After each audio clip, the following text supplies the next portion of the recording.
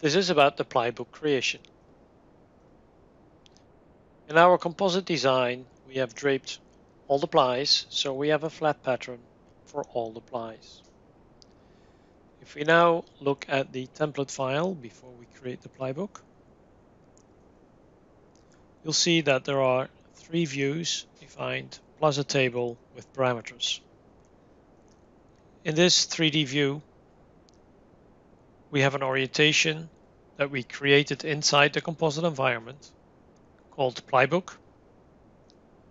We have the model display on no hidden. Let's change that to shading. And this is a section view. We're using the cross-section name, default section name 1, in the orientation front.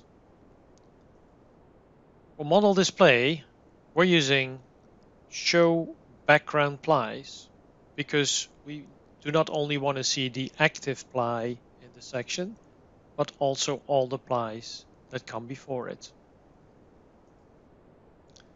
And here is the flat ply.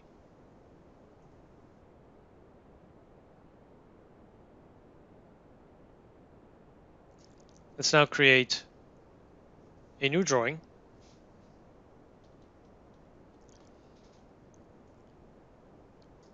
And select the template, or in this case, the one we just changed. As you can see, there are now several plybook templates available with the installation. and in only a few seconds, the system will use the template to populate each sheet with the respective ply information. A 3D view with the highlighted ply, because the first ply was a full ply, it will look like this. The section, the flat, and the table with the properties. And as you can see, we're seeing all plies that are added not only the active ply. Once the plybook has been created, it is a drawing like any other drawing in Creo. We can redefine this view and maybe choose not to show the background plies. In that case, we would only see the active ply. Let's leave it as it was. So we now have a drawing file with one sheet per ply showing all the information. You can of course also add a ply view and a flat ply view manually.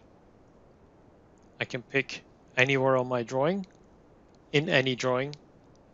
I just need to load the part with the composite feature. I need to choose the active ply and for the rest, it's just a normal drawing view. You can also insert a plybook.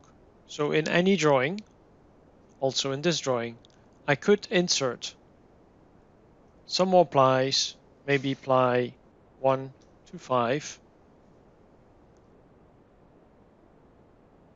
use the same template as we're using and it will now add plies 1 to 5 to the end of our plybook.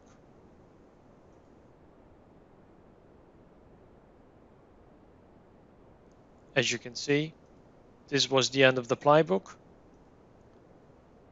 And here I've just added the additional 5 sheets. We go back to the model for a second and redefine the composite feature,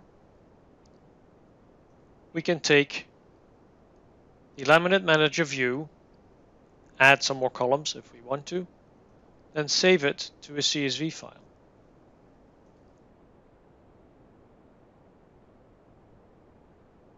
We now go back to the drawing, we can add a sheet, and maybe move that sheet to be the first sheet and add a table. We can add a table from the CSV file